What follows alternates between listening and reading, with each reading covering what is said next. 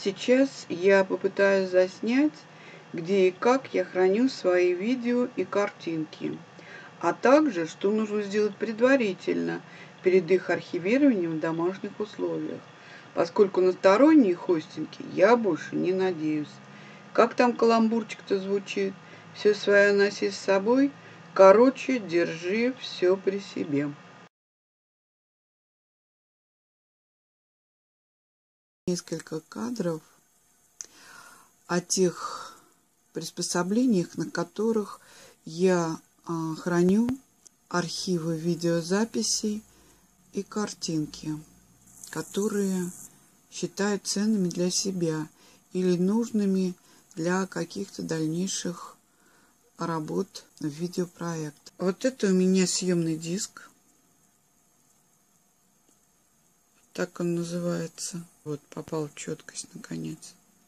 Вот это съемный диск. И вот такая флешечка. Вот. Вот такая флешечка. Колпачок снимается. Вставляется вот в этот разъем. Сейчас стоит а, провод USB для вот этого съемного диска.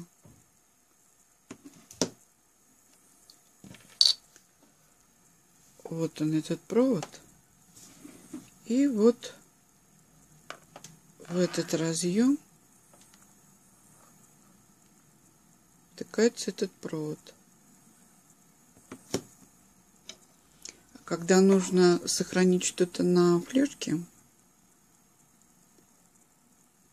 то этот провод вынимается и на его место вставляется эта флешка.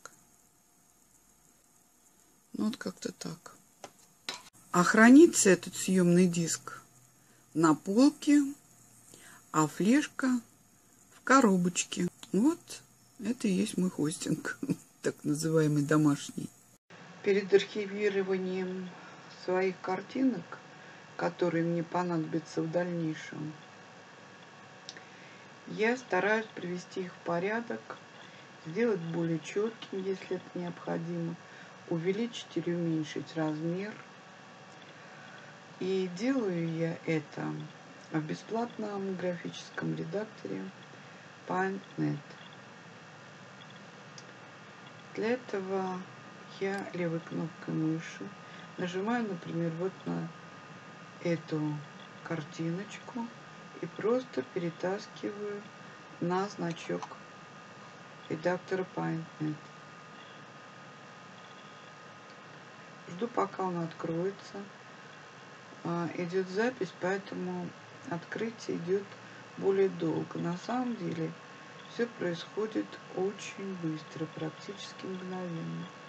Вот нажимаю на этот квадратик для того, чтобы редактор у меня принял оригинальные размеры и перекрыл все ненужное. Вот передо мной вот эта картинка. И на самом деле различить а, какие-то нужные для вязания детали очень сложно. И я считаю, что ее нужно увеличить для того, чтобы она действительно была каким-то наглядным пособием. Как же я увеличиваю? Увеличиваю я следующим образом. Нажимаю на изображение и не на изменить размер, потому что я как бы поняла, что оно становится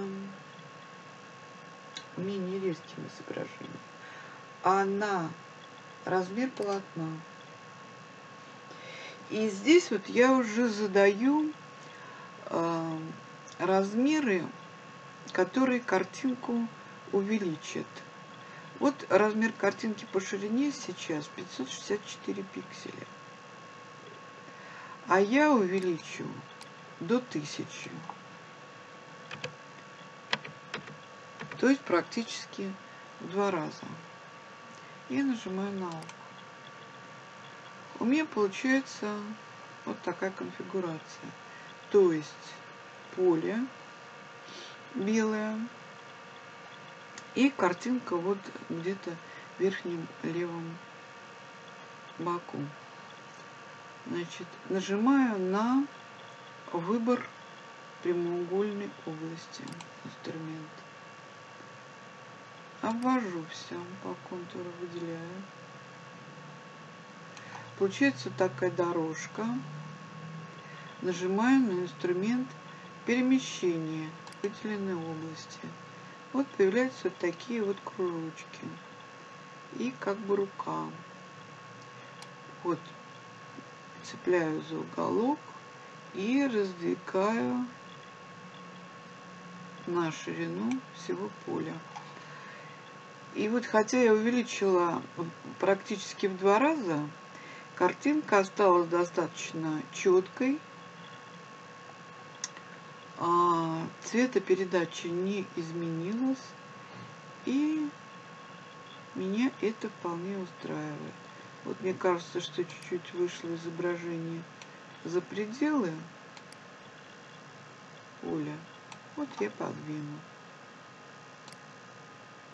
Вот за кружочек цепляюсь и двигаю туда и сюда. Для того, чтобы снять вот это выделение, пунктирную линию мурашку, которая бежит по краям, я нажимаю вот на «Отменить выделение». Вот. На квадратик с красным крестиком. Все. В принципе, при желании я могу обрезать. Вот как это делается. Я нажимаю опять на выделение. Обрезать вот лишние края. Мне кажется, что есть лишние края. Я их обрежу. Вот как-то так.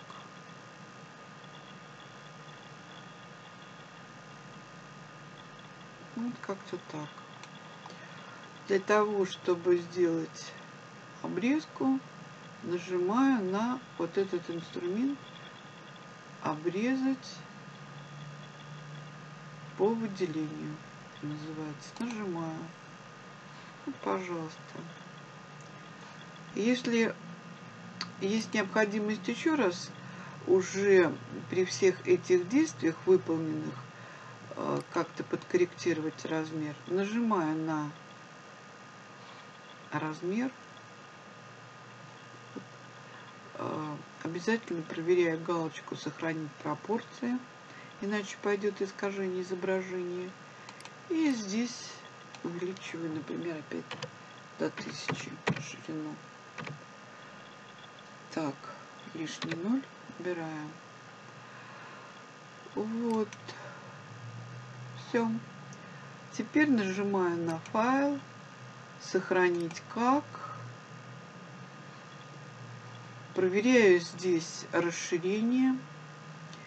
А, для архивирования лучше всего а, ставить размер JPEG, потому что картинки э, наиболее легкие получаются, то есть меньше займут места на диске или флешке, которые будет э, проводиться сохранение, на которых я обычно сохраняю. Жму на «Сохранить», подтверждаю «Да», проверяю. То есть э, размер файла будет 108,8 килобайт. И я при этом поставила качество 60. Можно увеличить, сделать качество более а, лучшим. Вот я поставила 91 качество, но при этом размер файла увеличился практически в два, больше даже, чем в два раза. Что это обозначает? Это обозначает, что на своем э, съемном диске или флешке я смогу сохранить при таком размере файла а, картинок в два раза меньше. Поэтому я возвращаюсь на качество 60. Оно вполне удовлетворительное для моих целей. И нажимаю на ОК. Если же вам нужно а, для какой-то дальнейшей работы, например, для создания клипов, а, художественные картинки там с изображением картин художников, то, конечно, качество лучше не уменьшать, а оставлять большим, несмотря на то, что они займут а, много места на флешках или съемном диске. Так, жму еще раз для проверки на сохранение файла. Проверяю. Вот 108,8 килобайт а, размер а, сохранения файла. Жму на ОК. Все. Вот она, моя картинка уже другими параметрами.